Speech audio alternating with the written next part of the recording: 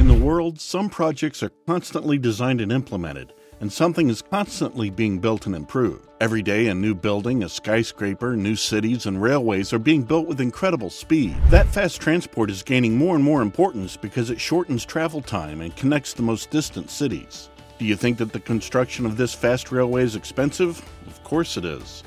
A high speed railway is being built in the UK for as much as 100 billion pounds. We're sure that this is a great project, but let's take a look together at what it's all about and when the construction is expected to end.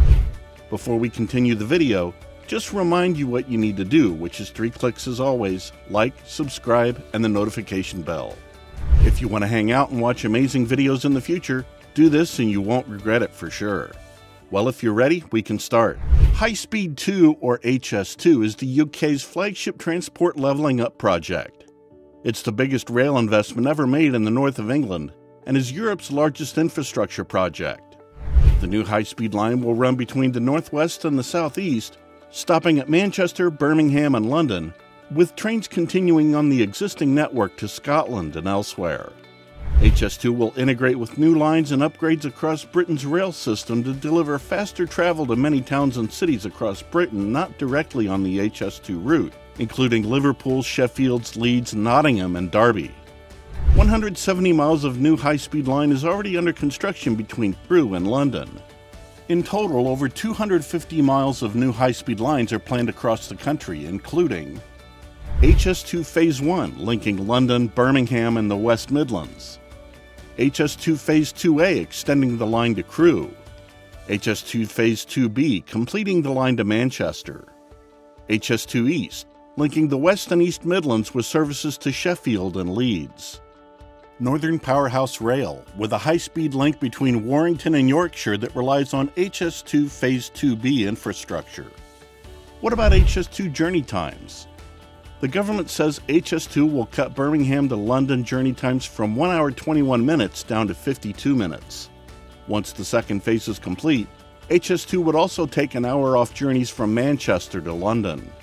The plan for the eastern leg was to join HS2 to the existing East Coast Main Line, leading to significantly faster journey times. For example, traveling from London to Leeds currently takes 2 hours and 13 minutes. Under the HS2 plans, it would have taken 1 hour and 21 minutes. The latest proposals mean it would take 1 hour and 53 minutes. Traveling by this railway is truly fast and it will be a real pleasure to travel. So, when can we travel? When the construction is finished, right? But when is that? The railway line was originally planned to be open to passengers in 2026, but the commissioning is expected to take place between 2028 and 2031. Here's another question that surely interests you. What will the rolling stock be like for the high speed rail system in the UK?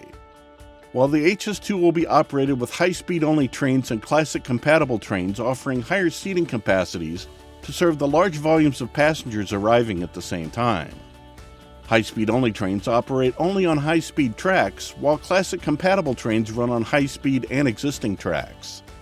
High speed trains will run at a speed of 225 miles per hour. Each unit will have a length of 200 meters and the capacity to carry 1,100 passengers.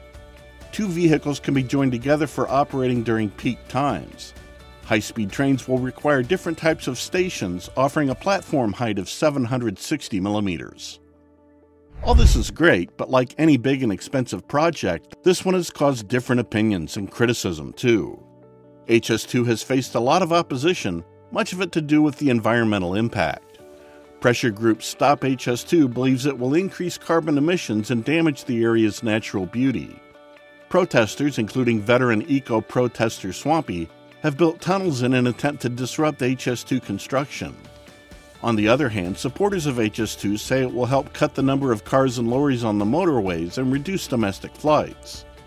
Well, it's clear that opinions are divided, and that's okay because everyone is entitled to their own opinion. But despite all the criticism, this project continues, and time will tell how much it will help humanity, especially UK residents. What's your opinion on the high speed railway? Write your comments or criticism in the comments below and we'll be happy to read all of them. Don't forget to like, share, and subscribe the video. We hope you enjoyed this one, and we'll see you again soon.